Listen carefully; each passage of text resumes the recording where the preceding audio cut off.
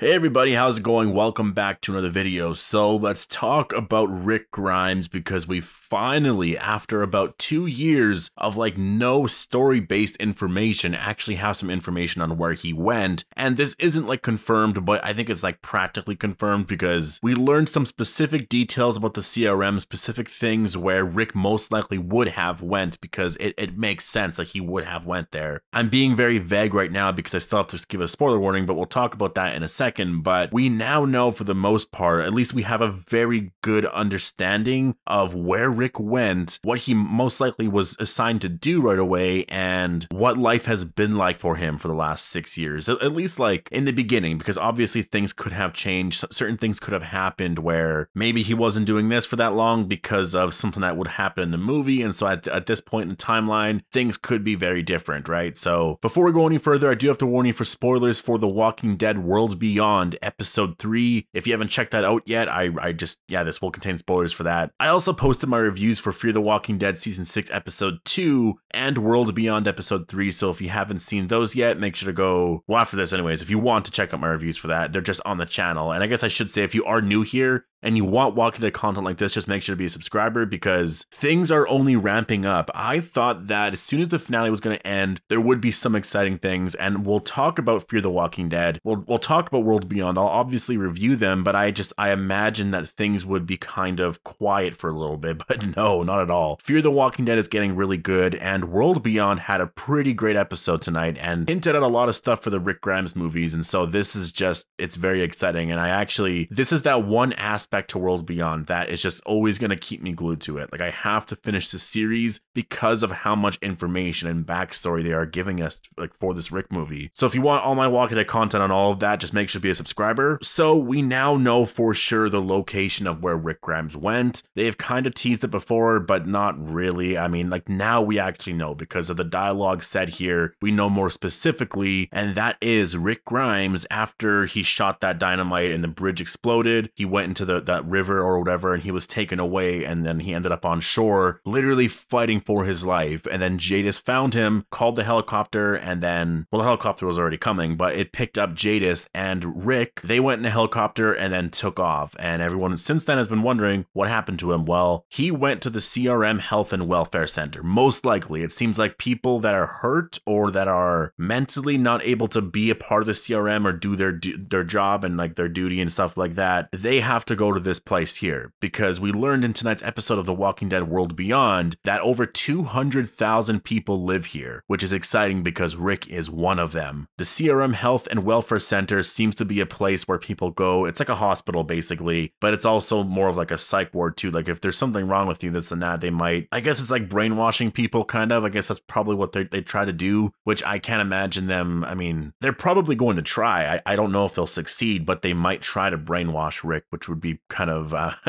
I don't know how that would go down. But this is most likely where Rick went because the thing is Rick was in really bad shape, but he wasn't in the worst of shape. Like like you, you can easily like you can revive him obviously, right? Especially because the CRM, just like Elizabeth Kublek said in tonight's episode, they have energy, water, medicine, transport, uh, culture, she was saying, currency, agriculture. They they have everything. And we saw that. She powered on her TV and just like everything else in her kitchen, everything the fan the ceiling fan. There was a helicopter that flew by, and that was probably very similar to how Rick arrived. Like Elizabeth Kublek was probably in her apartment or something like that, heard a helicopter fly by, and that was Rick that flew by, right? People were just in their apartments. So we're going to talk about the apartment thing right away because that was obviously uh, a very exciting element to, I guess, all of this and the CRM and all that. Now, I don't know how long Rick will be held in this place because obviously that is the first place we're going to see. I don't know how this movie is going to start, but I think roughly it's going to pick up with like, because you kind of have to let people know what happened. And I think we're going to see things with like the helicopter landing, arriving at this place.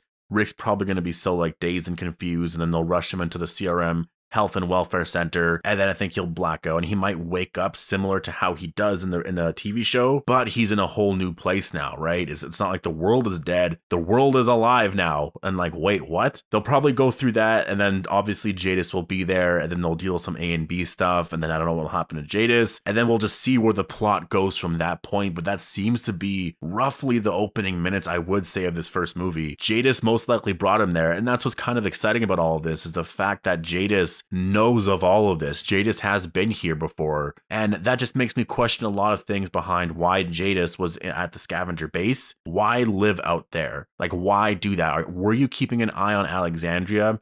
and stuff like that. Like, why were you over there? Which will probably be things that we do learn in that movie, right? Which is uh, very exciting, obviously. Elizabeth Kublek also told that soldier that he will work, like, after that he's done at the health and welfare center, he will work in a labor focused position or something like that, which I'm thinking this is probably what Rick will be forced to do.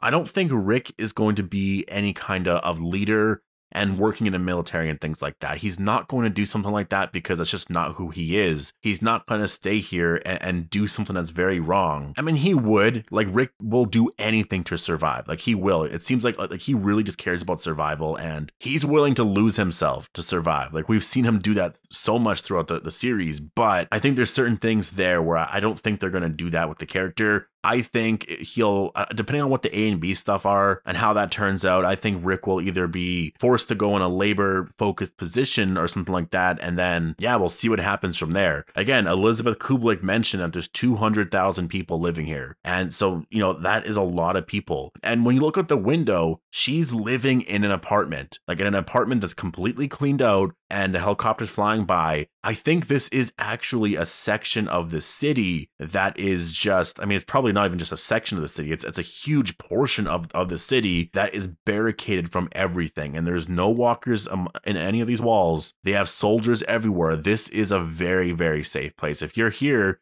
you're not going to get attacked by a walker. You probably won't see any, but they have very, very strict rules, like very strict rules. All of this is going to be such a huge shock to Rick when, when he arrives there and when he wakes up in, in the CRM Health and Welfare Center. He's going to see all this. He's going to be stunned to his core. Like, just the idea that all of this has been here for so long. Like all of this has been there since the beginning of the apocalypse, and they had to struggle on the road for however long, but all of this was here. Like he's probably going to want to bring his family, but then again, I think when he learns of their motives and all that, he won't want to. And I think that's where that's where I'm really interested in what they're going to do there because I think Rick will see that this is something special. If there's the right person in charge, or if we can, you know, somehow fix this situation, then everyone can be cured. And and that's the thing, they are trying to find a cure. That's what they're doing. That's literally the purpose of why Hope and Iris are out there to find their father is because their father is at the CRM base or whatever, and he's trying to help them find a cure. And obviously, some things have went wrong. and I don't know exactly what they mean by that, but yeah, we're starting to learn some pretty big secrets here. There's a lot of reveals, and just with how much we learned in this episode, I'm not going to be that surprised if by the end of the second season we literally get a Rick Grimes name drop. Like this show is only going to be two seasons long. We could get something this season at the very end, like something about some man who did this or something and that could be Rick, right? But we'll we'll never know. But for sure in the second season, like for sure there could be something tied to some character that Rick was responsible for doing this or did this or taught someone this or just there's going to be something I am sure that name is going to come up because the purpose of World Beyond is to explain all this stuff. We're three episodes in now, and we we know a lot of information. I can't imagine what it's going to be like to watch the next 17 episodes. I'm sure some of them are just going to be focused on like the, the the main characters and stuff, but we're going to get a lot of information like this. So as of now, we know that Rick is likely in like one of two places, at least for the most part in the beginning of the movie, which is these apartments. He could be kept in like Jadis's apartment I guess could, I could be where he stays, to be honest. He could stay with Jadis, or two, the CRM Health and Welfare Center, which is probably, I mean, he could go there and then go to an apartment. I think that would be weird if Jadis had an apartment, which I, I imagine that she does because she seems to be a little more, she's up there in ranking. You know, just to have Rick just like sitting on the couch or having coffee or something like that, looking out the window and seeing all this, just like, wait, like how